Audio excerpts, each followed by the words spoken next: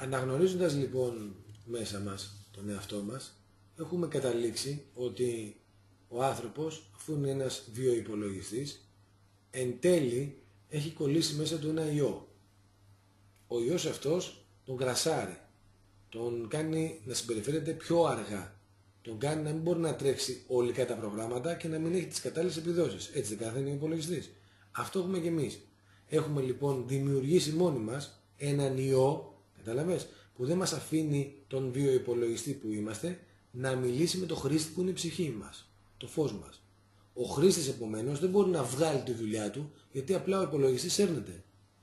Όμως ο χρήστης που είναι μέσα θέλει τον υπολογιστή έτσι, να κάνει τη δουλειά που η ίδια η ψυχή σου θα ήθελε, παίρνοντας συγκεκριμένες εμπειρίες. Εντάξει.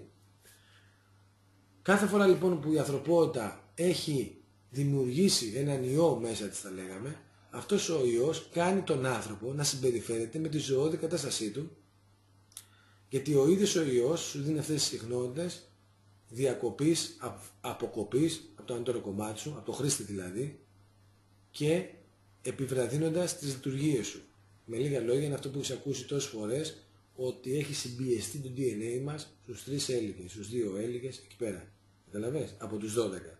Δηλαδή σαν να λέω τη συνείδησή σου από την 12διάστατη συνειδητότητα που μπορείς να έχεις, έχει συμπιεστεί μόνο στις 2-3 διαστάσεις. Εντάξει. Τι γίνεται, αυτός λοιπόν ο ιός τώρα έχει την ικανότητα εσένα να σε ταυτίζει και επειδή τόσο καιρό εσύ έχεις ξεχάσει πώς λειτουργούσες χωρίς τον ιό και γενιές με γενιές γεννιόμαστε με τους ιούς αυτούς, αυτός ο ιός έχει, θα λέγαμε, επιβραδύνει το DNA ή την ανάπτυξή του με αποτέλεσμα εμείς να βγαίνουμε, να βγαίνουμε δύο υπολογιστές που σέρνονται, τρασαρισμένοι, με προγράμματα που δεν μπορούμε να δουλέψουμε γιατί είναι δύσκολο να τα τρέξουμε, έτσι. Οπότε χρησιμοποιούμε τον υπολογιστή έτσι όπως τον βρίσκουμε. Χωρίς να μπορούμε να μπαίνουμε μέσα και να πειράξουμε το πρόγραμμα. Γιατί κρασάρει ο υπολογιστής μας έχει αφαιρέσει ορισμένες δυνατότητες. Καταλαβες; Έτσι και ο άνθρωπος λοιπόν του είχε αφαιρεθεί αυτό το πρόγραμμα της ενθύμησης να μπορεί να μπει βαθιά στον εαυτό του λόγω του ιού και να μπορεί από εκεί πέρα να ξαναμοντάρει τα προγράμματα για να αλλάξει. Καταλαβες. Αυτός ο ιός λοιπόν είχε μπει σαν κλίδα ασφαλείας στον άνθρωπο να μην τον αφήνει να δουλέψει τόσο δυνατά, έτσι, τόσο όσο μπορεί για να φέρει σε αποτέλεσμα αυτά που μπορεί να κάνει στις καλύτερες επιδόσεις του. Βλέπεις λοιπόν τους ανθρώπους όταν ξεκινάμε εμείς οι άνθρωποι που έχουμε γνωρίσει τον εαυτό μας, που ξέρουμε τι μπορεί να κάνει αυτός ο βίο υπολογιστής, έτσι, και, να, και ξέρουμε ότι είναι συνδεδεμένος με τον χρήστη, έτσι, και πρέπει να αφήσουμε τον χρήστη να κουμαντάρει τον βίο υπολογιστή, αντί να κάνει το κουμάντο μόνο του, λόγω του ιού, επομένως να μην ακούει τις εντολές που του στέλνει ο υπολογιστής να κάνει τα δικά του, έχουμε καταλήξει αυτό το πράγμα. Και ε, εμείς, αυτού του είδους οι άνθρωποι σαν και εμένα, τι κάνουμε; Σε εισαγωγικά θέλουμε να μιλήσουμε και μιλάμε στον άλλον ώστε να του δώσουμε την ικανότητα να μπορεί να βγει από τον ιό. Για να βγεις από αυτόν τον ιό πρέπει πρώτα να καταλάβεις. Ξέρεις, ο ιός είναι συνδεμένος με το Matrix, με την ασυνειδησία, με την, με την, με την ταύτιση, κατάλαβες με τα ελαττώματα, με τις χαμηλές δονήσεις. Όλες αυτές τις δονήσεις που δεν σε αφήνουν εσένα να θυμηθείς το πόσο μεγάλος είσαι. Όλα αυτά που σου κάνουν να έχεις συμπιεστεί σε αυτό το μικροσκοπικό καμιά φορά άνθρωπο λιγότερο από αυτό το πράγμα που σου έχει φτιάξει η ίδια η φύση. Γιατί η ίδια η φύση μας έχει δώσει κάποιους περιορισμούς, έτσι. Όμως εμείς χωρίς αυτούς τους περιορισμούς έχουμε περιοριστεί ακόμα περισσότερο. Καταλαβες. Δηλαδή μπορεί να ζήσεις σαν άνθρωπος εδώ πέρα με να έχεις μια αναπτυγμένη συνείδηση, με αναπτυγμένη ένωση, να δουλεύεις τα τσάκρα σου φυσιολογικά, καλά, όλα, να είσαι σε ένωση με το σύμπαν, με τους περιορισμούς του ανθρώπινου σώματος. Όμως ο άνθρωπος ακόμα και αυτό, καταλαβες, ο ιός τι σε κάνει, να μην φτάνεις σε αυτό το σημείο. Και να συμπεριφέρεσαι σε ένα στυλ ούτε σαν ζώο. Γιατί το ζώο είναι ενωμένο, είναι αρμονία. Έτσι. Αλλά ούτε εκεί σε αφήνει. Δεν σε αφήνει να έχεις ούτε την αντίληψη του εδώ και τώρα που έχουν τα ζώα και της Ένωσης, αλλά ούτε και τη συνειδητότητα να μπορείς να ξέρεις πραγματικά ποιος είσαι. Είσαι σε ένα ενδιάμεσο, όπως είχαμε κάνει την άλλη φορά, που έδωσα την πυραμίδα της κατευθύνσεως, της γνώσης, ε, Θυμάσαι που σου είπα οι άνθρωποι είναι ανάμεσα στον ονειρό κόσμο, έτσι, και στο φυσικό. Δεν είναι ούτε 100% στο φυσικό, ούτε 100% στον ονειρόκοσμο. Πάλλεται η συνείδησή τους ανάμεσα από αυτά τα δύο. Μπορεί να μην το έχουμε κάνει αυτό. Δεν το έχουμε κάνει με την πυραμίδα, αυτό είναι, είναι πολύ σημαντικό. Δεν πρέπει να το έχουμε κάνει αυτό. Με τους ε, δρόμους του θεραπευτή, του μύστη, του αγαθού, δεν το έχουμε κάνει; Όχι, όχι. Α, είναι πολύ σημαντικό. ΟΚ, ψάξε και εσείς τα, Όχι, τα σίγουρα. δεδομένα. Σίγουρα, Σίγουρα. αλλά θα το θυμίσουμε, ε. Ναι, είναι πολύ σημαντικό το μάθημα. Δίνει τις κατευθύνσεις που παίρνεις όταν ασχολείσαι με τη γνώση. Και το είχα στο μυαλό μου να το βγάλω και στη δημοσιότητα και μία φορά θα το κάνουμε μαζί σου το ξαναγράψουμε για να το δουλέψουμε λίγο. Γιατί πρέπει να σου κάνω και τα σχήματα. Λοιπόν, αυτός ο ιός, φίλε μου, πρέπει να αναγνωριστεί από μας. Και πρέπει να θυμηθούμε το πώς εμείς ήμασταν χωρίς τον ιό. Όπως σου ξανα... Συγγνώμη, όπως σου ξαναείπα γενιά σε γενιά, έχουμε μάθει τον ιό να νομίζουμε ότι είναι το φυσιολογικό μας. Ο άνθρωπος με αυτά τα πράγματα, τα συνειδησία που έχει, νομίζει ότι είναι το φυσιολογικό του. Γιατί απλά δεν θυμάται ότι έχει παραπάνω συνείδηση, έχει παραπάνω δυνατότητες, παραπάνω διέστηση, παραπάνω όλα αυτά τα πράγματα. Καταλαβες. Και επειδή ο ιός που έχει νο- βάλει μέσα στον άνθρωπο τον κρατάει κοιμισμένο, ο άνθρωπος ξυπνάει σε εισαγωγικά στη ζωή κοιμισμένος και νομίζει ότι έτσι είναι το ξύπνιο. Καταλαβες. Ότι ο ύπνος που νιώθει λέει αυτό είναι το συνειδητό μου. Καταλαβες. Αλλά στην πραγματικότητα αυτό είναι πάλι ένα όνειρο. Δεν έχουν συνείδηση οι άνθρωποι. Ζουν μέσα στα όνειρά τους ακόμα. Δεν έχουν αυτή την, κρυ- την κρυσταλλωμένη, καθαρή ε, αίσθηση των πραγμάτων. Έτσι, γιατί είναι όλοι μέσα στον ιό του πρίσματος του εγωικού τους, θα λέγαμε, χαρακτήρα. Όλος αυτός ο εγωισμός είναι στην πραγματικότητα που έχει δεθεί στον άνθρωπο, είναι στην πραγματικότητα artificial intelligence, τεχνητή νοημοσύνη. Καταλαβες; Γιατί η τεχνητή νοημοσύνη, σε εισαγωγικά, ξεκινάει από την πρώτη αποκοπή. Από την πρώτη αποκοπή, από το όλον, που είπε εγώ ε, υπάρχω, άρα ζω, άρα είμαι, άρα θέλω να μάθω, επεκτείνομαι και τα υπόλοιπα άλλα, αυτό είναι με τεχνητή νοημοσύνη. Καταλαβαίνεις, δημιουργήθηκε αυτό το πέρα το πράγμα. Θα μου πεις είναι τεχνητό από τον άνθρωπο, είναι τεχνητό από άλλα όντα, είναι τεχνητό από τον ίδιο το Θεό, έτσι. Λοιπόν, αλλά θέλω να σου πω ότι ακόμα και ο ίδιος ο Θεός, για να έχει τη συνείδηση, για να μην είναι το όλα σε ένα, αλλά να είναι ένα από όλα, για να έχει τη συνείδηση του ενός, πρέπει να υποκτήσει αυτή την τεχνητή νοημοσύνη. Καταλαβες; Να φτιάξει μια φαινομενική νοημοσύνη που αυτός θα υπάρχει μες στο όλο. Καταλαβες; Γιατί είπαμε είναι άλλο το όλα σε ένα και άλλο αυτό που λέμε ο Θεός, η συνείδηση. Καταλάβεις, γιατί αν είσαι τα πάντα δεν έχεις συνείδηση αυτού. Έτσι τα πάντα. Το έχουμε ξαναπεί αυτό. Αν είσαι τα πάντα δεν έχεις συνείδηση αυτού. Δεν μπορείς να είσαι τα πάντα και να έχεις συνείδηση αυτού. Καταλαβες. Ένα κλικ πιο κάτω θα είσαι σίγουρα. Γι' αυτό μπορεί να είναι πανταχού παρόν, έτσι, και τα πάντα πληρών, αλλά στην πραγματικότητα δεν μπορεί να είναι τελείως πανταχού παρόν. Γιατί αν ήταν πανταχού παρόν δεν θα έχεις συνείδηση. Και εμείς τελικά τι θέλουμε; Το όλα σε ένα, σαν σύμπαν, σαν χάος, ή μια συνειδητότητα, μια τάξη; Καταλαβαίνεις, αλλά υπάρχει μια τάξη, πρέπει να είναι στο χάος της αταξίας. Τώρα σε φιλοσοφώ λίγο και σε πάω λίγο στα αντίθετα και στην ουδετερότητα. Κατάλαβες τι να σου πω; Δεν γίνεται να υπάρχει μια τάξη, πρέπει να υπάρχει μια ταξία γύρω-γύρω για να φαίνεται η τάξη. Εμείς αυτή την τάξη τη λέμε Θεό. Και η τάξη έχει δημιουργήσει όλο το σύμπαν αυτό που βλέπουμε εμείς. Της τάξεως που βλέπουμε. δε- Που δεν είναι χάος. Καταλαβαίνεις. Γιατί όλα λειτουργούν με τάξη εδώ. Αυτά που έχουν φτιαχτεί. Και το χάος δεν είναι Θεός. Το χάος δεν είναι Θεός με την αίσθηση της τάξης, του φωτός. Γι' αυτό διαχωρίζουμε το φως με το σκοτάδι, το φως με το χάος. Μέσα στο χάος γεννιέται το φως και μέσα στο φως παίζουν όλες οι ζωές που ξέρεις και τα 3D και όλα. Αλλά την ώρα εκείνη που είναι χάος δεν υπάρχει τάξη για να υπάρχουν fractals, για να υπάρχει αυτό που λες εσύ 3D και να έχει κάτω από ρυθμούς όλο αυτό το πράγμα που εκδηλώνεται και λέμε ο κόσμος μας, το κόσμημα, το κόσμημα πού; Στο χάος. Καταλαβαίνεις, γιατί κοσμεί το χάος, η τάξη. Κατάλαβες να σου πω; Ε, ε, αυτές είναι βαθιές έννοιες, αλλά θέλω να τις καταλάβεις ότι φυσικά όταν είμαστε τα πάντα δεν έχουμε αυτό. Και όταν έχουμε αυτό δεν είμαστε τα πάντα. Αυτό όμως που θέλουμε εμείς να κολλήσουμε αυτά τα δύο στο μυαλό μας τώρα, ότι μπορούμε να είμαστε και το ένα και το άλλο, είμαστε και το ένα και το άλλο. Όμως κάθε φορά πρέπει να είμαστε ή το ένα ή το άλλο. Τουλάχιστον στη συνείδηση που έχει ο άνθρωπος. Καταλαβες. Άρα ο δικός μας ο Θεός των ανθρώπων, αυτό που μπορεί να εννοήσει ο άνθρωπος, είναι μια συνειδητότητα που που είναι μία τάξη μέσα στο χάος. Καταλαβες. Άρα και το χάος τι είναι; Είναι όλα τα πράγματα μαζί, μπουρδουκλωμένα, και μόλις τα βάλει σε τάξη η συνείδηση, όπως τώρα οι επιστήμονες βλέπουν ότι κοίταξε τα ηλεκτρόνια μπορεί ο παρατηρητής να τα βάλει σε μια τάξη και να δημιουργήσει την πραγματικότητά του. Ε; Αυτή η πραγματικότητα, όπως γίνεται στο μικρό κόσμο, στον άνθρωπο, στον παρατηρητή και τον παρατηρούμενο, έτσι γίνεται και στο σύμπαν. Ο παρατηρητής λοιπόν ο μεγάλος είναι αυτή η θεϊκή, η θεϊκή τάξη. Πρόκειται από μια θεϊκή συνειδητότητα. Και πάνω από αυτή μετά είναι το όλα σένα.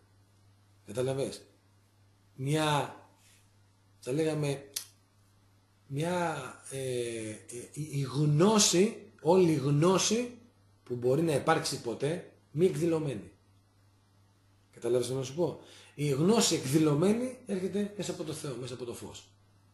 Καταλαβες; Λοιπόν, οπότε να ξέρεις, μέσα μας λοιπόν έχουμε και το χάος. Έχουμε και το φως. Έτσι. Ε, το χάος όμως τι κάνει, δεν αφήνει να υπάρχει μορφή. Καταλαβες. Άρα γιατί δεν αφήνει να υπάρχει συνειδητότητα, να βαστάει μια μορφή; Καταλαβες τι να σου πω; Λοιπόν, και όλα τίνουν προς το χάος. Πάντοτε. Αυτό είναι ο νόμος εντροπίας. Όλα τίνουν προς το χάος. Γιατί αν τα αφήσει η παρατήρηση, όλα ξαναγυρνάνε στο χάος. Το καταλαβες; Άρα όσο ζει μια συνείδηση, και πάντα ζει κάποια συνείδηση, ε, αφού υπάρχει αυτό, πάντα θα υπάρχει ο κόσμος. Έτσι. Και πάντα όταν η συνείδηση θα αποτραβιέται από την εστίαση εκεί πέρα, για τους λόγους θα μιλήσουμε πιο μετά, έτσι, τι κάνει, διαλύει ο κόσμος. Και αυτές είναι οι λεγόμενες μαχαπαντάρες, κοσμικές ημέρες, κοσμικές νύχτες. Καταλαβες. Άκου να σου πω κάτι άλλο με που θες να μιλήσουμε.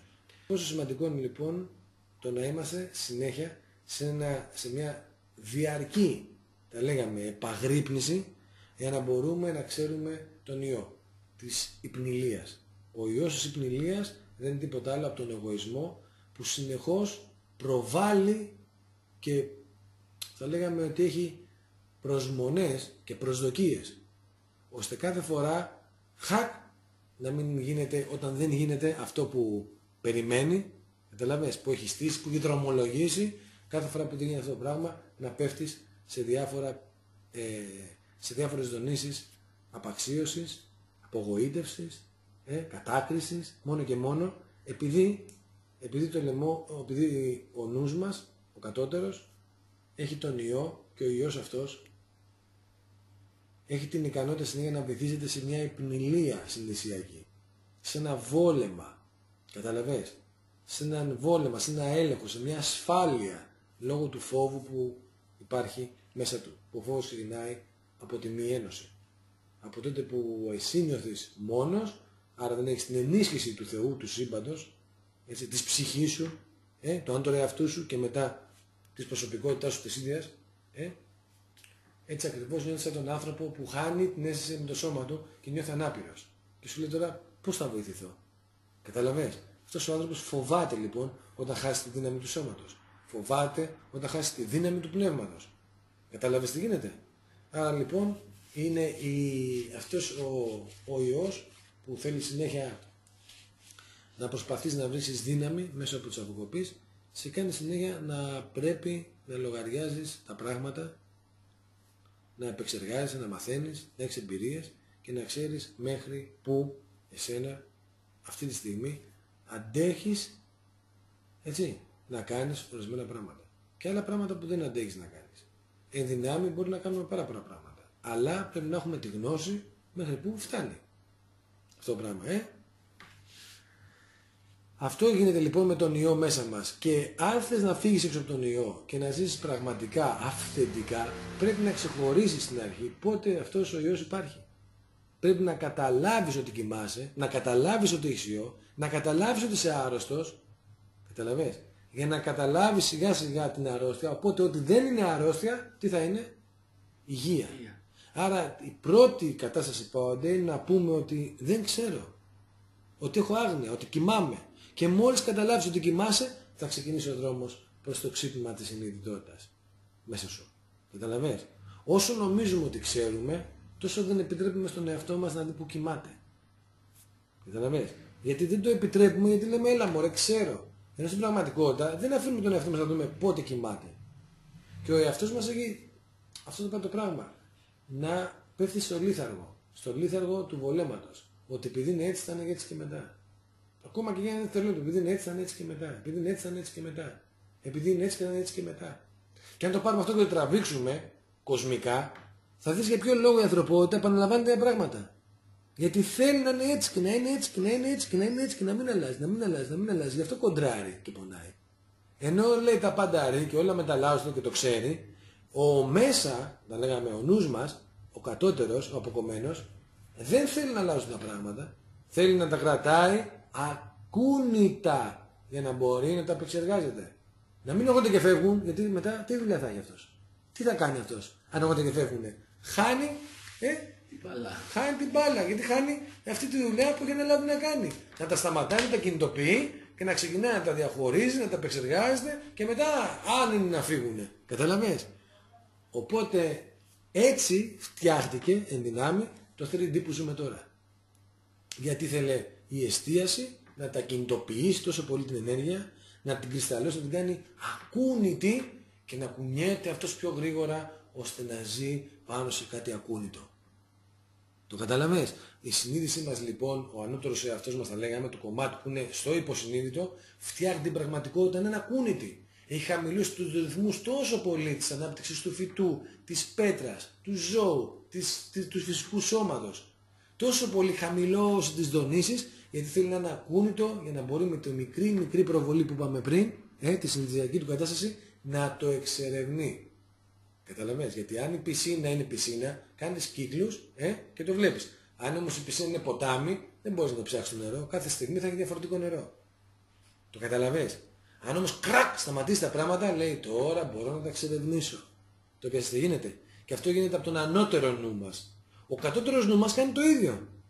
Καταλαβαίνεις; Τι κάνει; Μέσα σε όλο αυτό το, πα- το matrix που σου είπα, τι κάνει ο κατώτερος νους; Τα διάφορα σενάρια, συναισθήματα που έχουμε, χράκ τα κολλάει. Μέσα στο matrix δημιουργεί ένα δικό του matrix τώρα, ε, αυτόνομο. Αυτό που λες εσύ, ο μέσα μου, ο Όπως εαυτός έχει μου. μάθει. Ναι. Γιατί είναι κατ' εικόνα και ομοίωση του μεγάλου matrix. Και γίνεται ακριβώς το ίδιο. Και έτσι τι κάνει λοιπόν αυτός, αφού παίζουμε στο κολλημένο κόσμο, το υποσυνείδητο που τον έχει αργοπορήσει, μέσα σε αυτόν τον κολλημένο κόσμο τι κάνουμε, ξανακολλάμε τον δικό μας μικρό κόσμο στις σκέψεις στο κατώτερο νου μας. Ενώ ο ανώτερος νους κολλάει όλο το σύμπαν για να μπορείς εσύ να το βλέπεις αργά και να νιώθεις ότι κινείσαι πάνω εκεί, ε, και να βλέπεις ταχύτητες με λίγο παραπάνω συναισθητική κατάσταση από αυτή που αναπαραγάγεται η γη και αλλάζει, έτσι, για να τη βλέπεις ακούνητη, τι γίνεται, ακριβώς το ίδιο πράγμα κάνεις εσύ ψυχολογικά. Έρχεται η ώρα που αντί να αφήσεις τα πράγματα να ρέουν για να μάθεις τον εαυτό σου, να μάθεις ψυχολογία, χράκ τον κολλάς ακούνητο. Κατάλαβες; Και σκέφτεσαι τι έγινε τώρα, γιατί μου είπε έτσι, γιατί κάνω αυτό το πράγμα, γιατί εκείνο, γιατί το ένα, γιατί το άλλο. Καταλαβες. Και έχεις τη δυνατότητα λοιπόν να ξαναφέρνεις σε ακινησία μέσα σου το σενάριο που παίχτηκε, να το σταματάς και να δεις τι έγινε, γιατί έκανε εκείνο, γιατί έκανε το άλλο, όπως στην τηλεόραση. Όπως στην τηλεόραση που κάνει την μπάλα, pause και δίνεται εκεί και δίνει το ένα και το σταματάνε, καταλαβες. Και αυτό δεν είναι κακό. Είναι μια ικανότητα του κατώτερου νου που θέλει να μάθει, που θέλει να ψάξει, που θέλει να γνωρίσει τις Αν είναι γνώσεις. κακό, όταν κολλάει. Ναι, το artificial intelligent. Γιατί δεν υπήρχε το artificial intelligent, τεχνική, η τεχνητή νοημοσύνη ή η φυσική νοημοσύνη, δεν θα υπήρχε ο κόσμος που βλέπεις, για να τον ψάξουμε. Δεν θα υπήρχε το σταμάτημα της ενέργειας, σαν να είναι ακούντι κρυσταλλωμένοι, για να υπάρχουν τα ανθρώπινα όντα που έχουν την νοημοσύνη και τα υπερανθρώπινα όντα που έχουν νοημοσύνη και γενικά όποια όντα έχουν νοημοσύνη, τι θέλουνε, ένα ακούνητο σε πολλές διαστάσεις και πολλές ταχύτητες σύμπαν. Καταλαβες, ο καθένας το ακινητοποιεί αναλόγως τη συλλογική συνειδητότητα που έχει για να παίξει και το matrix του. Δεν ξέρω, καταλαβαίνεις τι λέω; Ε, σου εξηγώ καλά τώρα να ξέρεις τι γίνεται. Λοιπόν, οκ, μέχρι εδώ για να μην καεί και το μυαλό μας παραπάνω. Το ερώτημα είναι, Έλα. γιατί ξεκινάει αυτή η διαδικασία.